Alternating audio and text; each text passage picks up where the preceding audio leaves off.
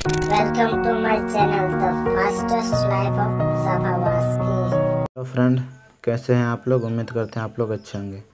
आज हम बात करेंगे अपकमिंग स्पोर्ट्स के बारे में जो झारखंड राज्य के पाँच जिलों में आयोजित होने वाले हैं। देखते हैं कि प्रतियोगिता का आयोजन सिर्फ़ और सिर्फ़ नक्सल प्रभावित जिलों में होगा।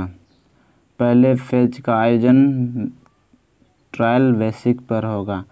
तीन और फ़ेज़ में बाकी जिलों में आयोजन होगा। यानी कि जो आयोजन होगा खेल का, उस पहला पेज है सिर्फ़ ट्रायल के जैसा होगा। और इसके बाद पैसा, गृह विभाग कम्युनिटी पुलिसिंग व खेल विभाग से जारी होगा। खिलाड़ियों को थाना में निबंधन करना अनिवार्य है। पंचायत स्तर और उसके बाद थाना स्तर या प्रखंड स्तर पर एक बालिका व बाल, एक बालक टीम का गठन होगा। अगर टीम ज़्यादा हुई तो आपस में में, मैच कराकर एक टीम चुनी जाएगी। जिला स्तर पर प्रतियोगिता आयोजन के बाद सर्वश्रेष्ठ खिलाड़ियों से जुड़ी दो दो बालिका व बालक टीम बनेगी।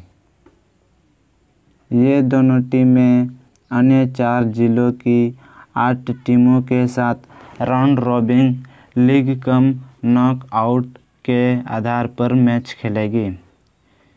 इसके बाद सबसे बेहतरीन खिलाड़ियों चौदह से सत्रह को आवश्यक सेंटर व अठारह से उन्नीस को सेंटर फिर एक्सीलेंस में प्रशिक्षण की व्यवस्था की जाएगी।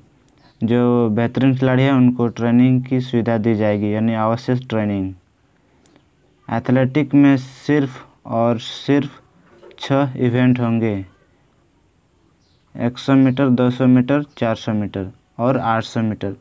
लॉन्ग जंप व हाई जंप विजेताओं को नगद व ट्रॉफी इनाम दिया जाएगा। आप देख सकते हैं यहाँ पर लिखा हुआ है कि खेल विभाग ने तैयार की सहाय योजना, सहायता योजना मुख्यमंत्री करेंगे उद्घाटन। आप यहाँ देख सकते हैं कि जो पाँच ज़िला है, उनमें से प्रथम जिला का नाम है सरायकेला, खरसवा चाईबासा खूटी, सिमडेंगा व गुमला के पचपन प्रखंडों और पैंसठ पुलिस थानों में गेम का नाम है फुटबॉल हॉकी, एथलेटिक्स और वॉलीबॉल प्रतियोगिता का आयोजन किया जाएगा, जो इसका खेल का आयोजन स्वयं मुख्यमंत्री हेमंत सोरेन करेंगे। इस वीडियो में इतना ही। Thank you.